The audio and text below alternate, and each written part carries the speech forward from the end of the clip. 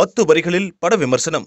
You turn அடுத்த காட்சி என்ன என்பதை யூகிக்க முடியாத அளவுக்கு திரைக்கதை அமைந்த ஒரு நல்ல த்ரில்லர் படத்தை பார்த்து நீண்ட காலங்கள் ஆகிவிட்ட குறையை ஓரளவிற்கு தீர்த்து வைத்துள்ளது சமந்தா நடித்துள்ள யூ டர்ன் வெளிவந்த கதையை தமிழுக்கு ஏற்ற மாதிரி ஆங்காங்கே பட்டி டிங்கரிங் பார்த்து நேரடி தமிழ் படமாக ரிலீஸ் செய்திருக்கிறார்கள் என்ற போதிலும் படத்தை ரசிக்க அது தடையாக இல்லை. ஒரு மேம்பாலத்தின் நடுவில் வைக்கப்பட்டுள்ள தடுப்புகளை அகற்றிவிட்டு யூட்டன் போட்டு செல்பவர்களால் ஏற்படும் விபத்தை பற்றி பத்திரிகையாளர் சமந்தா கட்டுரை எழுத அப்படி யூட்டன் அடித்து சென்ற பத்து பேரும் அடுத்தடுத்து இறந்திருப்பது தெரிய வருகிறது. அந்த பத்து பேரின் மரணம் ஒரு பத்திரிகையாளர் அதற்கான விசாரணைதான் யூட்டன் படத்தின் கதை இழை.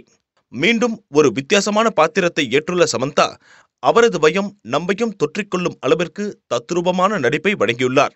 பக்காவாக பொருந்துகின்ற இன்ஸ்பெக்டர் பாத்திரத்தில் ஆதி மிகவும் பொருத்தமாக நடித்து பாராட்டுக்கள் பெற ஆடுகளம் நரேன் பூமிகா ராகுல் ரவீந்திரன் உள்ளிட்டோர் தங்கள் பாத்திரங்களை உணர்ந்து நடித்துள்ளனர். வழக்கமான பேய் படங்களில் இருக்கும் லாஜிக் மீறலுக்கு இந்த படமும் விலக்கல்ல. பல இடங்களில் வசனங்கள் நான்சிங்காக உள்ளன.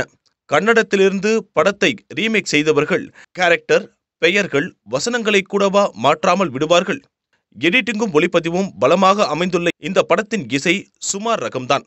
இவற்றையெல்லாம் தாண்டி விறுவிறுப்பான திரைக்கதை படத்தை ரசிக்க வைப்பதால் படத்தை இயக்கியுள்ள லூசியா புகழ் பவன்குமார் ஜெயித்து விடுகிறார். இதுவரைக்கும் டூரன் டாக்கீஸ்க்கு சப்ஸ்கிரைப் பண்ணாதவங்க கீழே இருக்க சப்ஸ்கிரைப் பட்டனை அழுத்தி சப்ஸ்கிரைப் பண்ணுங்க. மேலும் புதிய வீடியோக்கான அப்டேட்டை தெரிஞ்சுக்க பெல் பட்டனை அழுத்துங்க.